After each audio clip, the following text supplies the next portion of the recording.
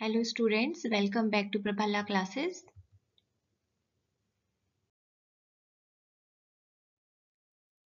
आज हमारा ये दूसरा करंट केस लॉ है तो चलिए स्टार्ट करते हैं। देखिए आज का जो हमारा केस है उस केस का नाम है मारियानो एंटो ब्रूनो बनाम पुलिस निरीक्षक। ये हमारा केस 12 अक्टूबर 2022 का है। इसके अंतर्गत जो आईपीसी की धारा 306 है, उसमें जो दोषसिद्धि के लिए अभियुक्तों के कृत्य घटनाओं के निकट होना चाहिए, ऐसा जस्टिस एम आर शाह और जस्टिस कृष्ण मुरारी ने कहा है। यानी कि अगर 306 के तहत कोई दोष सिद्धि की जा रही है तो वहाँ पे जो अभियुक्त हैं, उनके कृत्य जो हैं, घटना के निकट होने चाहिए। अब ये कोर्ट ने क्यों कहा? तो चलिए हम देखते हैं। देखिए, अगर मैं इस केस के फैक्ट्स की बात करूँ तो जो अभियोजन पक्ष था, उन्होंने यह मामला दर्ज कराया था कि शादी के बाद जितने भी आरोपी थे, यहाँ पे सभी आरोपियों में मृतक का पति और उसके ससुराल वाले हैं। सभी आरोपियों ने दहेज की मांग की और उन्हें पूजा के नाम पर गौमूत्र का सेवन करने के लिए मजबूर करते हुए उनके साथ दुर्व्यवहार किया और उन्हें अपमानित किया।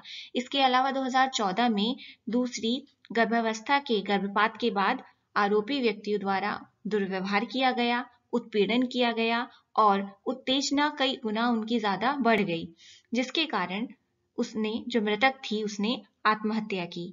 यहाँ पे धारा चार सौ अठानवे ए और 306 आईपीसी यानी कि भारतीय दंड संहिता की धारा के तहत एक साथ दोषियों का आ, मतलब ट्राई कोर्ट ने और मद्रास हाई कोर्ट द्वारा दोषी ठहराया गया था। अब यहाँ पे जो सुप्रीम कोर्ट है जब उनके पास अपील गई जितने भी आरोपी व्यक्ति थे उन्होंने जब अपील करी इनके कोर्ट मद्रास हाई कोर्ट के ऑर्डर के अगेंस्ट तो यहाँ पर वहाँ पर सुप्रीम कोर्ट ने जो सुप्रीम कोर्ट की जो पीठ थी उसने कहा कि रिकॉर्ड पर ऐसा कोई सबूत मौजूद नहीं है जो यह दर्शाता हो कि मृतक को उसकी मृत्यु से ठीक पहले अपीलकर्ताओं द्वारा प्रताड़ित किया गया था।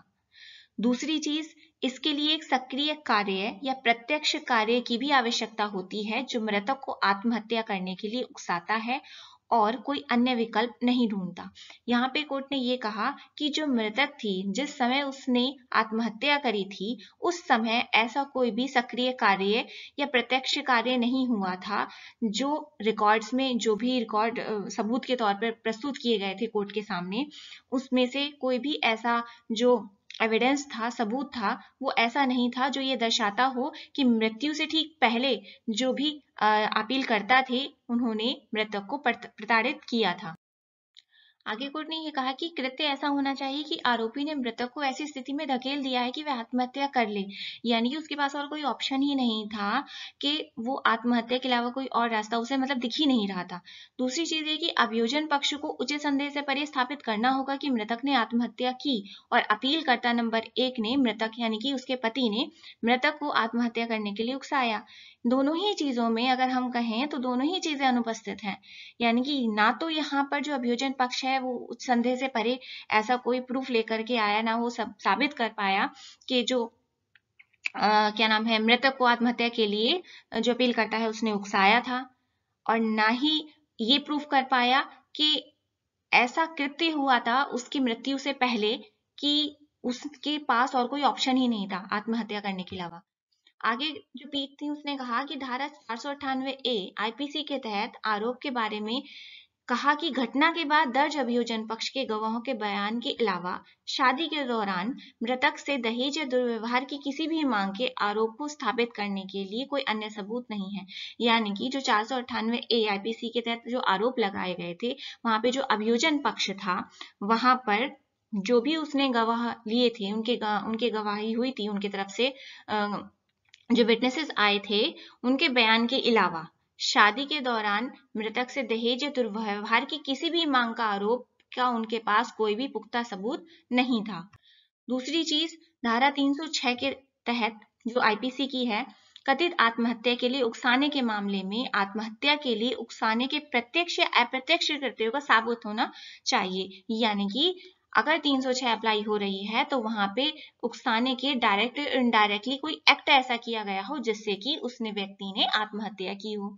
दूसरी चीज़ कि केवल उत्पीड़न के आरोप के बिना पर किसी सकारात्मक कार्यवाही के आरोपी को आईपीसी की धारा 306 के संदर्भ में दोषित किया जाना टिकाऊ नहीं है। तो यहाँ पे ये कहा कि जब एविडेंसेस ही पुख्ता नहीं है, सारी चीज़ें कंप्लीट ही नहीं है एविडेंसेस आप साबित नहीं कर पा रहे हो डायरेक्टली तो यहाँ पर हमें बिल्कुल भी ठीक नहीं लग रहा कि 306 के संदर्भ में हम से क्या करें दोषित करें। और यहाँ पर जो सुप्रीम कोर्ट है, उसने जितने भी अपील करता थे, उनकी आरोपी थे, उनकी अपील एक्सेप्ट कर ली और फ़िलहाल उन्हें बरी कर दिया। तो ये था आज का हमारा दूसरा केस अगर आपको ये सीरीज़ पसंद आ रही हो तो प्लीज़ चैनल को सब्सक्राइब कीजिएगा एंड लाइक एंड शेयर कीजिएगा। At last, thanks for watching. Take care. Bye bye.